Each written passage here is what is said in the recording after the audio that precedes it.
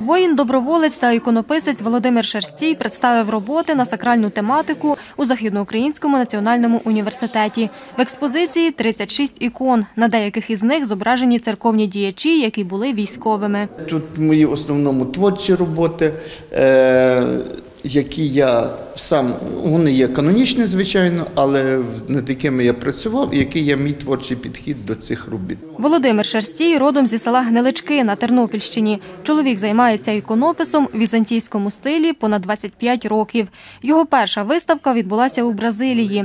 У 2014 та 2022 роках Володимир брав участь у російсько-українській війні як доброволець. Коли почалася війна, 2014 рік, я працював як волонтер, ми їздили туди, і я вирішив тоді зробити серію ікон е, з подачі Олега Снітовського, мого доброго товариша.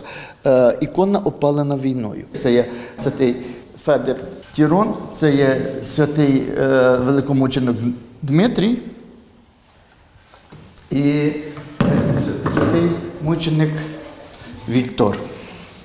От таких три з цих дощечок. Нині Володимир Шерстій працює лаборантом в університеті та очолює творчу студію на соціально-гуманітарному факультеті. Художник ділиться досвідом зі студентами. З самим майстром знайома майже 5 років, е, завжди зачарована його роботами. Володимир Шерстій він е, особливий в плані того відчуття того божественного, що ми маємо, але в його поєднанні минулого в сакральному мистецтві.